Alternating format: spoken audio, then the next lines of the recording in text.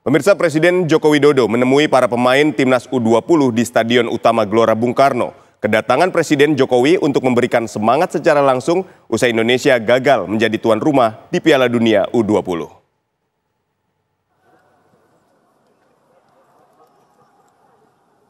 Presiden tiba di Stadion Gelora Bung Karno ditemani Ketua Umum PSSI Erick Thohir, Wakil Ketua Umum PSSI Zaiduddin Amali, serta Kapolri Jenderal Listio Sigit Prabowo.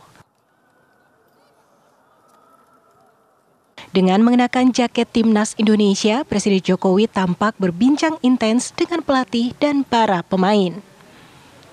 Jokowi juga menyampaikan dukungan dan meminta para pemain untuk terus semangat dan mempersiapkan diri di pertandingan internasional lainnya.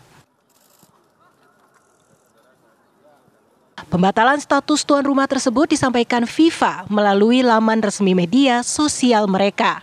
Usai Ketua Umum PSSI bertemu dengan Presiden FIFA Gianni Infantino di Doha, Qatar.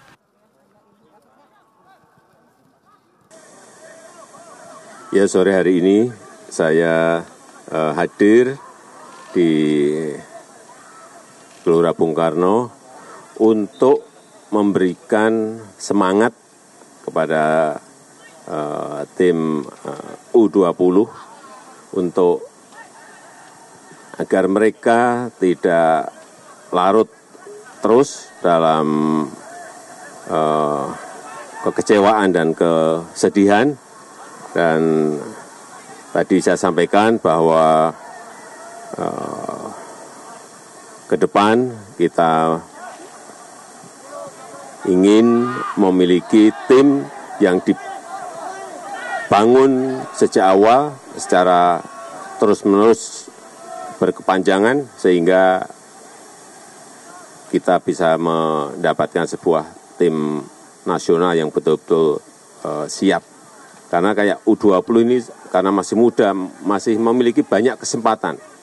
Bisa nanti main di SEA Games, bisa main di uh, Asian Games, masih bisa main di AFF, masih bisa main di Olimpiade uh, 24. Saya kira apa kesempatan itu masih panjang sehingga tadi saya sampaikan pada mereka jangan patah semangat.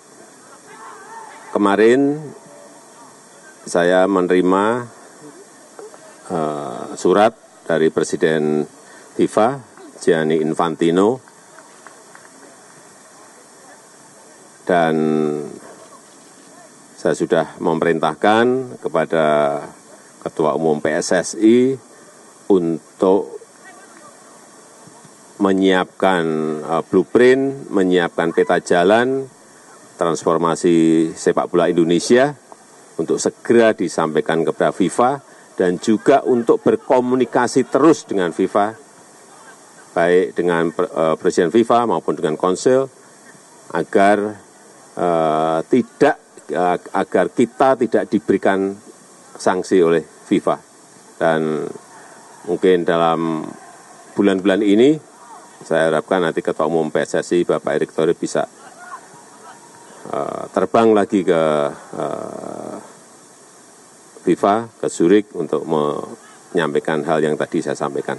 Ya, terima kasih. Presiden sangat berharap FIFA tidak menjatuhkan sanksi untuk PSSI setelah keputusan pembatalan tuan rumah Piala Dunia U20 ini. Dari Jakarta, Gita Iha, Bayu Rustam, TV One mengabarkan.